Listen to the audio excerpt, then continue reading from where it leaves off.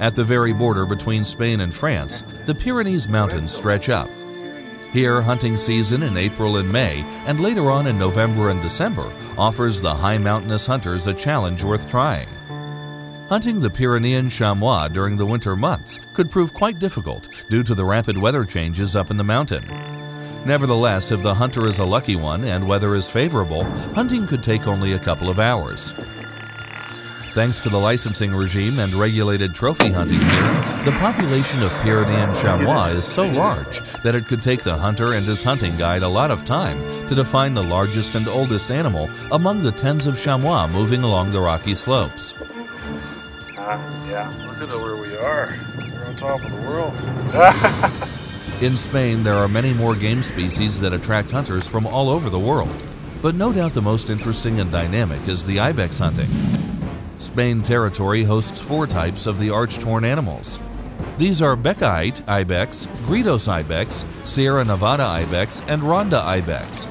Since they share relatively close external features, these ibexes vary in size and bend of their horns. The best time for hunting them down is the end of the mating season.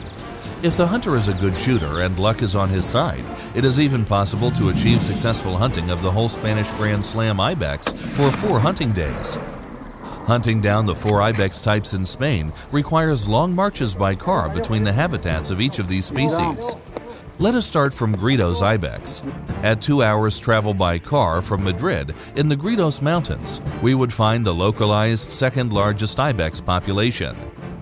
Amidst the inaccessible canyons and mountainous precipices, the animals feel very well, and their population is exceptionally high.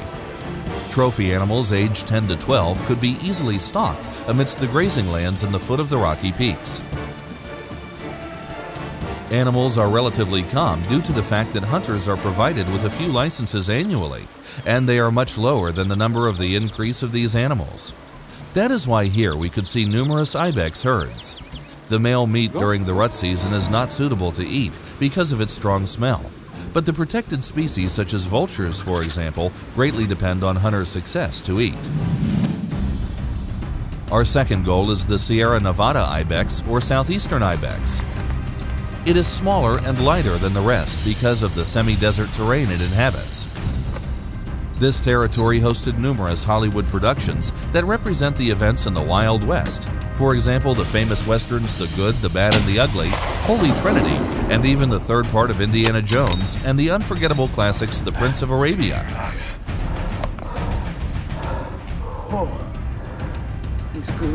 The third ibex of the Spanish Grand Slam is the Ronda ibex. At around four hour travel from Madrid, it inhabits the most inaccessible and steep slopes of the Ronda Mountains in the province of Malaga. Its horns are V shaped and they are arched backwards and quite resemble the horns of the alpine ibex. This is the smallest of all Spanish ibexes. As you can imagine, this is related to the fact that it lives and moves along very steep terrains. de el resultado de la cacería de la empresa de sábado, cazador Pite y guardapaco. Three days, three uh, ibex now, and uh, The last, fourth type is the Beceite ibex. This is the largest one among the ibexes in Spain, with the largest horns. It adapted itself to living in abundance along the not very high but fruitful mountain ranges between the Castellón Teruel and Tarragona provinces. Herds love walking along the arable terraces that were abandoned centuries ago.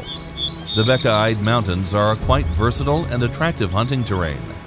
Ibex's population here is much greater than the hunting licenses, and the availability of 15 to 16 year old trophy animals prove this. Okay. The hunting safari in Spain could bring the frenetic hunters and adventurers not only extraordinary trophy achievements, but an unforgettable experience when getting in touch with the Spanish culture and art. There are many more great destinations and unique places that we didn't have the chance to show you.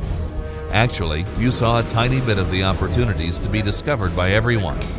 We hope we helped you make your first step in traveling along distant lands, amidst unknown people, in order to get to know our limitless and admirable blue planet.